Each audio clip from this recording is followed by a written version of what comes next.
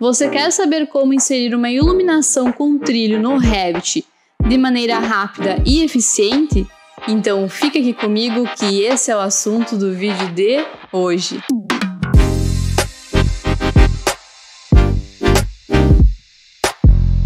Olá pessoal, no vídeo de hoje vou mostrar para vocês como é super simples a gente inserir uma iluminação com trilhos aqui no Revit. E eu vou fazer isso nesse projeto aqui.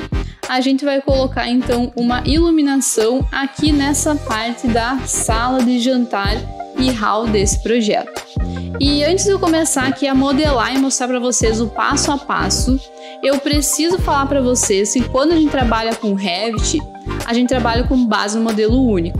E eu já falei isso várias vezes por aqui, mas é sempre bom a gente repetir.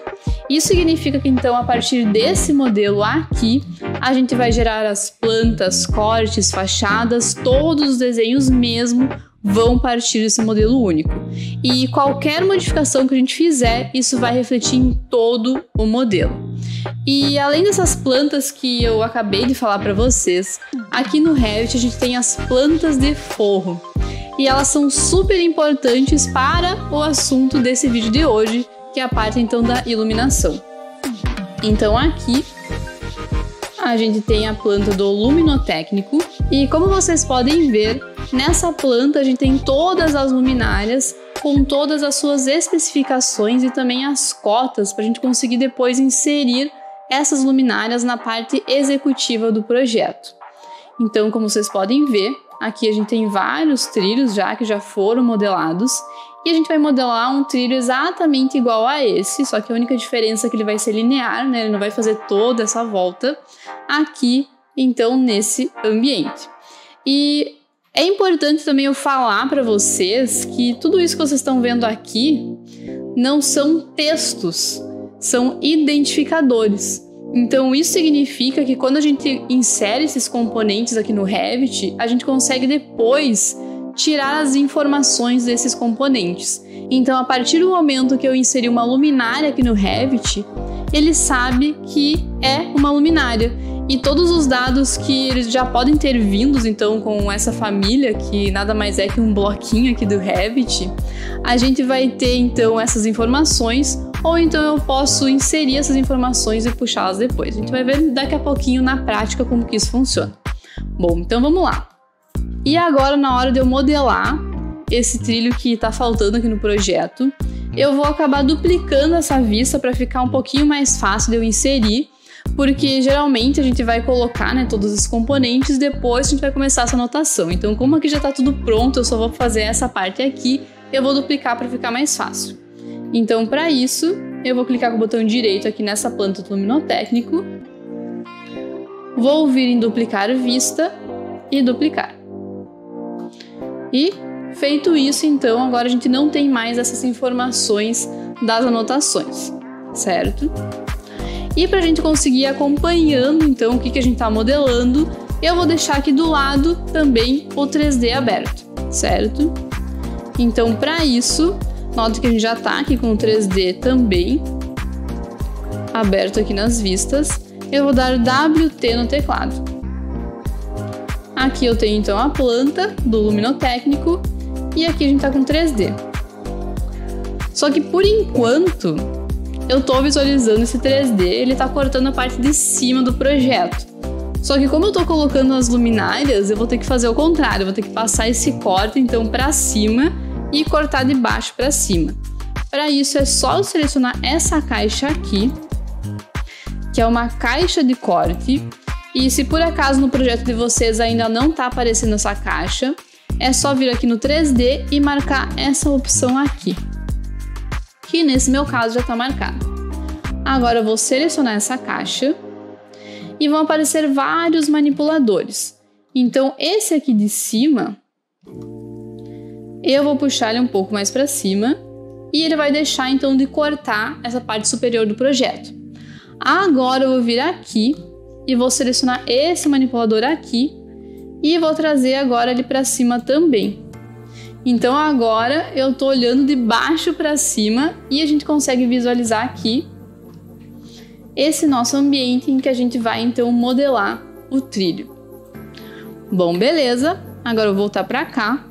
E antes eu começar a modelar esse trilho, eu só vou esconder essa parte aqui da estrutura, que na verdade nesse caso aqui, nessa vista, ela foi configurada para parecer assim, mais fraquinha. Mas eu vou ocultar ela aqui por um tempo para ficar mais fácil de gente modelar. Então vou dar HH. Bom, beleza. Agora que eu já ajustei a nossa vista, agora sim a gente vai inserir o trilho. Para isso eu vou dar CM no teclado e aqui nas propriedades a gente consegue escolher qual luminária que a gente quer inserir nesse projeto. Nesse caso aqui em específico, é um trilho da linha CJ. Então a gente vai inserir o trilho e depois que a gente vai colocar os spots e as ponteiras, que nesse caso aqui tem esse acabamento que a gente pode ver inclusive aqui, ó. Tem essa ponteira aqui. Aqui no meu caso já está selecionado o sistema linear, mas se não era só clicar aqui, a gente poderia pesquisar pela luminária, clicar nela e daí depois inserir ela aqui no projeto. Então agora eu vou dar um clique e por enquanto eu vou desenhar livremente mesmo aqui no forro e depois a gente ajusta na dimensão correta, exatamente onde ela vai ficar. Então vou dar um clique, vou trazer para cá e agora eu posso digitar qual vai ser o comprimento desse trilho. Nesse caso, vou colocar 300 centímetros e vou dar um Enter. E feito isso, eu já inseri o trilho, vocês podem ver que ele está aqui. E agora eu já vou posicionar onde que ele vai ficar. Então, para isso, eu vou dar ESC duas vezes. Vou selecionar o trilho. E notem que agora tem algumas cotas que estão aparecendo aqui na volta desse trilho. Então, essas são as cotas temporárias em que a gente consegue ajustar o posicionamento dos elementos de forma super rápida aqui no Revit. Então, basta eu dar um clique aqui em cima da cota e digitar o valor correto, que nesse caso são 80 centímetros. Depois, a gente vai ter aqui uma distância de 60 centímetros até a parede. Nesse caso aqui, como ele não está me dando automaticamente já a cota que eu quero, é só eu clicar aqui nesse pontinho dessa cota aqui e arrastar até aqui na parede. E agora sim eu consigo então ajustar essa cota também. Então eu posso clicar aqui, colocar 60 e Enter. E feito isso, vou dar um ESC agora, já está posicionado o trilho. Tá, só que tá meio estranho, né? Ele não tá exatamente igual a esse outro trilho aqui. O que está acontecendo? Então, nesse caso aqui, a gente precisa dar um comando para cortar o forro, mas é super simples também. É só a gente vir aqui na aba modificar e cortar. E eu vou sempre selecionar o que eu quero cortar primeiro e depois o objeto que vai estar tá cortando. Então, nesse caso, o que vai ser cortado vai ser o forro. Então, aqui na planta do luminotécnico, eu vou dar um clique no forro e um clique aqui no trilho. E agora vocês podem ver que ele já cortou e já está tudo certo. Bom, agora o que a gente vai fazer vai ser então colocar as ponteiras e depois a parte dos spots. Então, para isso, eu vou dar CM no teclado. E agora aqui eu vou pesquisar então a ponteira. Então, basta agora a gente selecionar a ponteira e da mesma forma, agora eu vou vir aqui no forro e vou inserir ela. Só que notem que ela não está exatamente na posição que a gente quer. Para a gente rotacionar ela, a gente pode fazer isso antes da colocação. E é só dar a barra de espaço e ela vai rotacionar. Então vou deixar ela aqui na posição correta. Vou dar um clique.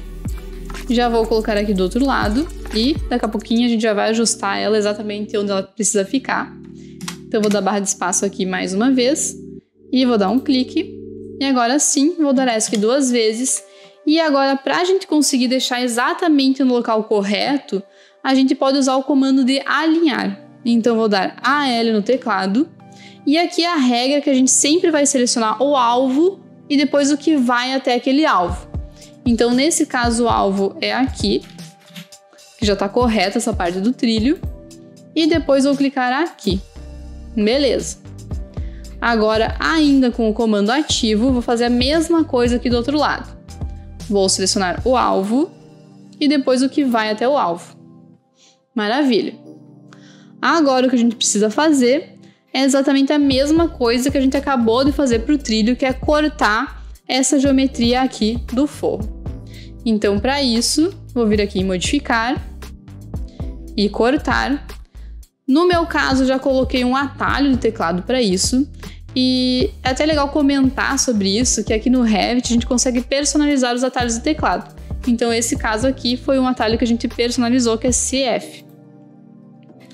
E da mesma forma, eu vou clicar no forro e nessa ponteira aqui, e aqui a mesma coisa, no forro e nessa ponteira aqui. E agora eu posso dar dois ESCs para sair do comando. Bom, agora já está inserido o trilho e eu só preciso então colocar os spots. E da mesma forma, vou dar CM no teclado. E agora aqui eu vou pesquisar por esse spot. Uma outra alternativa que eu vou mostrar agora para vocês, vou até dar ESC para mostrar essa outra opção, é que se por acaso eu já tenho esse elemento em algum lugar aqui do projeto, eu posso simplesmente vir aqui, selecionar esse elemento e dar então CS no teclado, que é para eu criar um similar. E feito isso, eu já vou dar então o comando, que seria o CM, só que ele já vai puxar aquele elemento que eu quero, que nesse caso é o spot. Agora, para inserir esses spots, a gente precisa configurar que ele vai ser inserido então na face desse trilho aqui. E para isso é só a gente vir aqui em cima e colocar essa opção colocar na face. Que esse objeto aqui específico a gente pode colocar ele também nas faces verticais. Então vou selecionar a opção colocar na face e agora sim, é só eu vir aqui, vou me aproximar do trilho. E da mesma forma que a gente rotacionou a ponteira, eu posso dar barra de espaço para rotacionar a posição desse spot. Então vou colocar aqui, vou inserir um outro aqui do lado também. Então basta dar um clique e feito, já inseri. E vocês podem ver que ele já está aparecendo aqui no meu 3D também. Tá, e se eu quiser colocar agora um spot ali no centro, mas eu não quero que ele fique com essa rotação, tem como? Sim, para isso a gente pode colocar ele aqui. Então a gente vai inserir normalmente. Agora eu vou dar ESC duas vezes. Vou selecionar esse spot aqui. E aqui a gente tem dois parâmetros. Então se eu deixar isso aqui com zero ao invés de 40, ele vai ficar então dessa forma aqui. Inclusive, até agora, se eu quiser, eu posso simplesmente copiar esses elementos. Então, eu posso selecionar esse spot aqui, da CO, clicar num ponto, digitar um valor, ou então simplesmente clicar no próximo ponto que ele vai ficar, que eu consigo copiar. E o mesmo vale então para esses dois elementos aqui. Eu posso selecionar esse daqui, pressionar o Ctrl para adicionar um novo elemento na seleção, então vou clicar nesse outro spot aqui também. E agora eu posso dar então CO, que é o comando para a gente copiar aqui no Revit, clicar num ponto e clicar depois aqui em outro ponto. E feito. Já copiei esses spots para cá. E da mesma forma que a gente conseguiu antes ajustar aqui qual o valor, qual a distância que eles vão ficar, a gente também consegue fazer aqui com esses spots, tá? Então esses aqui eles vão ficar exatamente no centro, na verdade esse aqui em específico ele ficou bem, bem no centro, mas os dois não ficaram, então eu poderia simplesmente clicar nele, clicar aqui na cota temporária, colocar um outro valor, por exemplo 155, dar um Enter ele iria ajustar e da mesma forma para esse outro aqui. Poderia clicar nele, clicar aqui na cota, colocar aqui um outro valor, então aqui pode ser 145, Enter, e a gente consegue então ajustar esse posicionamento, certo? Então com isso, nós já modelamos o trilho e já colocamos os spots também e agora eu vou mostrar para vocês essa questão da identificação desses elementos, que antes eu falei que não eram textos, tá? Então, para isso, agora eu vou voltar lá naquela planta do luminotécnico que já está mais completa. Então, vou clicar duas vezes aqui. e vou dar TW no teclado para a gente ficar então só com essa vista aqui aparecendo. E como vocês podem ver, já estão aqui. Tudo que a gente já modelou já apareceu nessa vista também. Porque como eu falei antes para vocês, como a gente trabalha com base no modelo único, eu posso escolher em qual vista eu vou modelar essa iluminação e ela vai aparecer em todos os locais. Bom, então como que eu faço agora para identificar esses elementos? Então, para isso, basta eu dar TG no teclado, que é o comando, então, o atalho do teclado para a gente acionar os identificadores. E agora, quando eu chego aqui em cima desse elemento, eu posso dar um clique e feito, ele já identificou. Agora eu vou dar ESC duas vezes, vou clicar aqui, só vou colocar ele aqui para fora. E a gente consegue ajustar então o posicionamento desse identificador. Inclusive, ó, eu posso vir para cá e puxar essa chamadinha para cá também. Agora, quando eu clico nesse identificador, a gente vai ter várias opções. Então, além dessas informações que eu estou puxando, tem várias outras informações que já estão inseridas nessa família que a gente pode puxar agora. Então, quando eu clico aqui, eu vou ter essa lista aqui, em que eu posso então escolher o que eu quero deixar como informação. Então, se eu quiser colocar o fabricante e modelo, ele vai dizer aqui. Então, Spot Key é direcionável da usina Design. Se eu quiser saber então só qual é o modelo dessa luminária, eu posso também colocar aqui modelo da luminária, que ele vai deixar só o modelo, não vai colocar o fabricante. Então, com isso, a gente consegue identificar uma planta dessas de forma super rápida. E aqui eu estou mostrando, inclusive, uma parte da identificação, mas existem outros comandos que a gente consegue identificar todos os elementos de uma vez só. Então, através desse comando, a gente consegue fazer uma anotação de uma planta como essa daqui de forma super rápida aqui no Revit. Certo, pessoal? Então, como vocês puderam ver, tanto a parte da modelagem quanto a anotação de um trilho de iluminação aqui no Revit é super rápido de ser feito. Então, qualquer dúvida que vocês tiverem, pode deixar aqui nos comentários. Eu vou ficando por aqui. Até mais!